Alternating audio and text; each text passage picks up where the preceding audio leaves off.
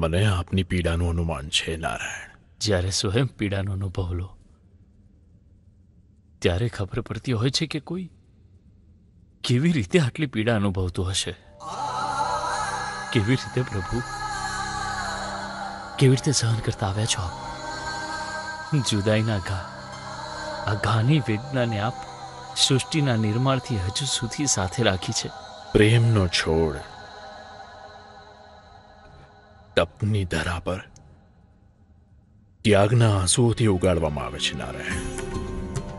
પરંતુ આ પીડાના કારણે વ્યક્તિ એટલો બળવાન થઈ જતો હોય છે કે કર્તવ્ય પથ પર આવેલી તમામ મુશ્કેલીઓનો સામનો કરી શકે.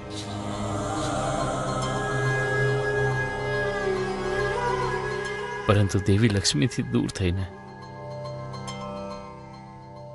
હું મારા કર્મ અને કર્તવ્યોથી વિમુખ થઈ ગયો છું, દેવ. મારા માટે દેવી લક્ષ્મી, મારા અસ્તિત્વનો એક ભાગ છે.